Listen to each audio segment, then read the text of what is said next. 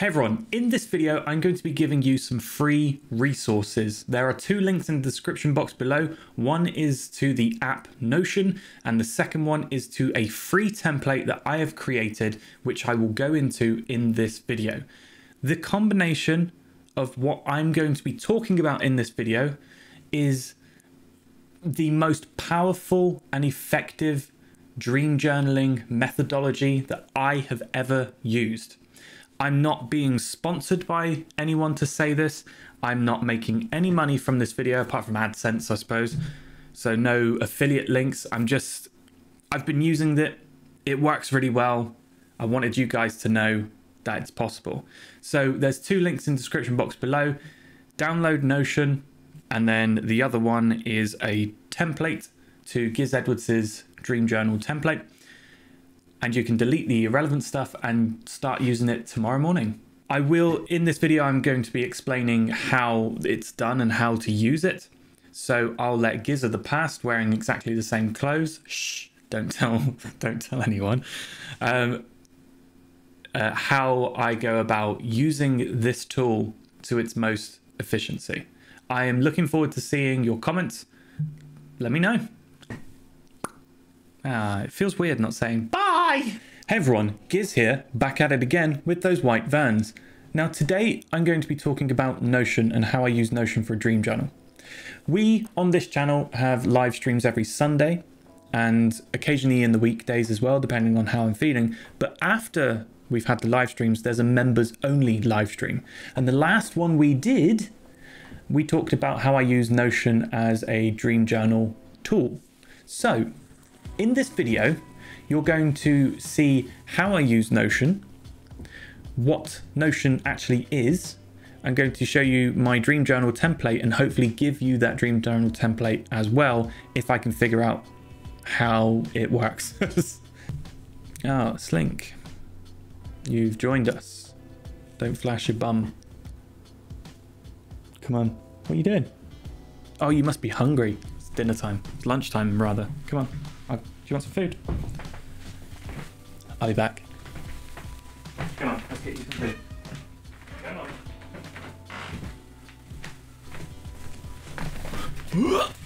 Slidey. Let's just jump into it. Let's go to the PC. I'm out of breath from walking upstairs. Wow. So here is Notion. Notion, as I said, is a free software that you can use to uh, better your productivity in life. And I use it for dream journaling. So this is the dream journal template that I've created. And hopefully I'll find a way to share that with you. So let's go into my actual dream journal. Now I will be blurring some of the information out because as you see, when it comes to names, as it says here, I do first and last name and I don't want people to know people that I know. So this is my dream journal. This is the one that I use. And as you can see, there's a lot of information at the moment, but it is very simple to understand. So here in the left column, we have the title of the dream, which has all the dream uh, journal stuff. I open up that document and I can write in the dream journal information. But then also we have the number of dreams. So this night I had seven dreams in one night and during each night, if I have like three dreams, I go, this is dream one, this is dream two, this is dream three. I then write what lucid consciousness level I was at. So for example, you have pre-lucid all the way down to layer four lucid dreams. And then you have version four, variation four of non-lucid dreams, false awakenings and such. I'll show you more information about that later. Here we have the date. Here we have the names of the people, and the names are color coded, and I will go into that as well. And then we have locations. I might blur some of the locations out, I'm not sure. So locations of the dream and the motif. The motif meaning uh, the theme of the dream. So what elements within that dream. And it's really powerful because if I go to the top, right here, there is three dots and I can go to filter, I can actually filter these dreams depending on, let's say, uh, the motif. So if the motif is that I was public nudity, it would go through all of my dreams and pull out all the ones which have public nudity in them. So that's really useful because it's a really easy way to narrow down and filter through. I suppose you could use this kind of stuff for or in Excel, but I find this is the perfect format for me at least to really narrow that down. So let's go into my dream journal template that I've created. I've taken some of the irrelevant things out so you are left with just the information that you need.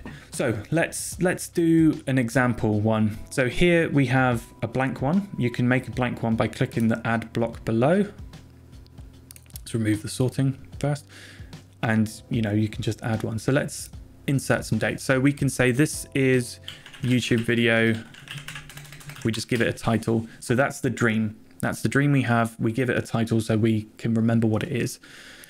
Lucid, was it pre-lucid? Layer 0, 1, 2, 3, 4. Was it a variation of non-lucidity from 1 to 4? Was it a false awakening?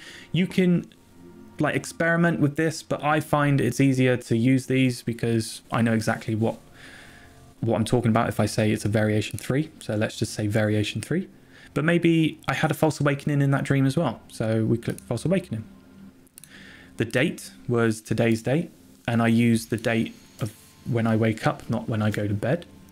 Now, dream linked to, sometimes I found that when I have dreams, um, they often are like a sequel to another dream, or I'm referencing a previous dream that I've had. And if it's in your dream journal, click that and just click on the dream that it's linked to. And when you're reading through your dream journal again, uh, you can have a look, see what it is. This was the first night, uh, this was the first dream of the night. I woke up, what time did I wake up this morning? Uh, let's just say 8.30. I think I'm wrong about that. 8.30. Now wake time, I didn't do this in my one, but this is a good one.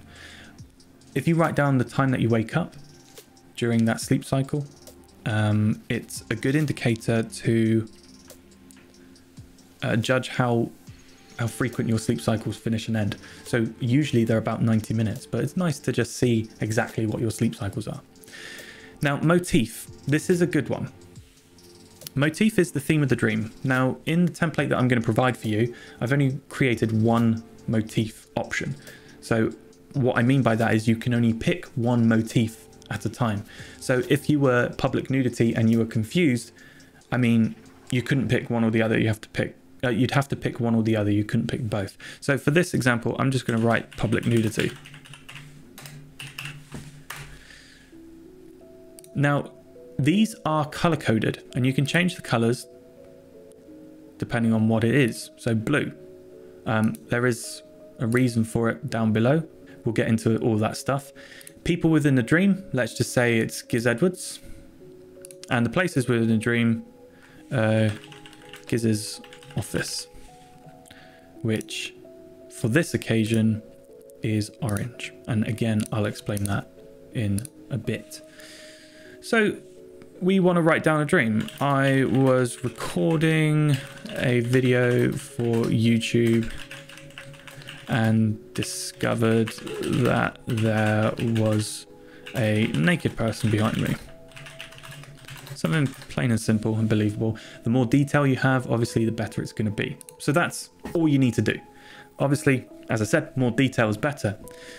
But here's where it gets really interesting.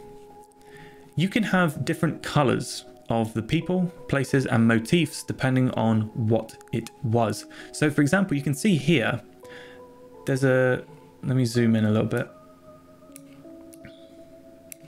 For example, in this one, you can see that there's an orange and a green one. Now, unfortunately, if I was to make another Giz Edwards, I can't have a different colored Giz Edwards because there's already a Giz. So I give it a code. So R meaning. Okay, so that's a good way of indicating. Now, why do we do that? If we go down here, you can see that I've given you a key for people within a dream and locations color code. So people within the dream, which is this column here, if it's orange, that means it's people I know in waking life and were also present in the dream. Blue is characters in the dream that the dream has created. The theme of those color codes is exactly the same for the locations. Orange, places that exist and were present in the dream. Blue, the dream has made it up. Green, places referenced. So that's essentially what I'm going to be giving you is this template. Use it as much as you can because it is extremely useful. The other bit that I want to talk about is actually here, the dream signs. Uh, let me zoom down a little bit. So the dream signs here, if you have any notable things that have happened in your dream, people that you see quite often, places that you visit, or motifs that happen quite often, just write them in that list. As you develop your dream journal in Notion, you can use this like scratch pad, this notepad here as um, a dumping ground for stuff. One thing that is um, or should be noted is that when you're starting this out, it can take a long time to get like the people within the dream. For example, if I every time I have to write a a new person in the dream, I have to write their name down. But you find that you often dream about people you know. And after a while, you've written down pretty much everyone you know at some capacity. So when you're writing in that dream journal, the first period of time might be a bit slow, but then you you've pretty much written everyone in. So you can just go Tony, Giz, Alice, you know, things like that, and it will take a lot quicker than you think. The other interesting thing, I'll be back. I found with this that my dream recall kind of went crazy. So within a month, I had 100 dream journal entries. That's quite a lot. So I have my laptop next to my bed and I record my dreams down that way.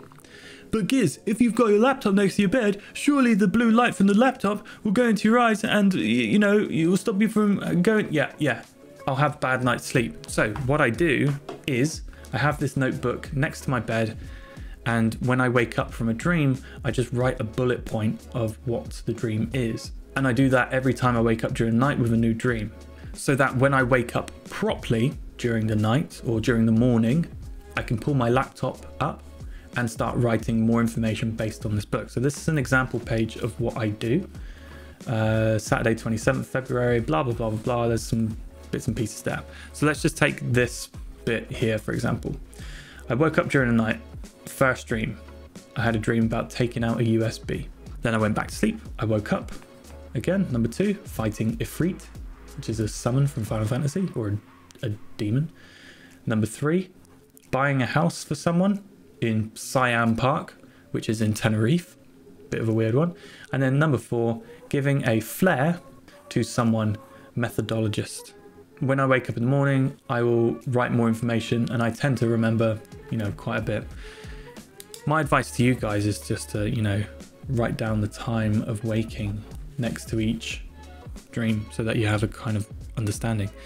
This is the best kind of combination for me, writing down, you know, notes in a notepad and then waking up and writing it down in Notion. For me, and I've experienced, I've experimented with a ton of dream journals. You see the stack of dream journals I've got downstairs. Um, this is the best combination for me. And I know it's not traditional, it's electronic and it doesn't have the same impact. But if I'm trying to get information down, I find that writing it is way too slow. I'm writing way too slowly in the night to be able to go back to sleep effectively. And instead of doing that, I needed to combine that with, you know, electronic. I can type, I'm going to say like 100 times quicker. I couldn't write 70 words a minute. No chance. So this combination is what I found to be the best for the amount of information you actually record and also the speed in which you record it, but also the capability of going back to bed and back to sleep easier. That's everything.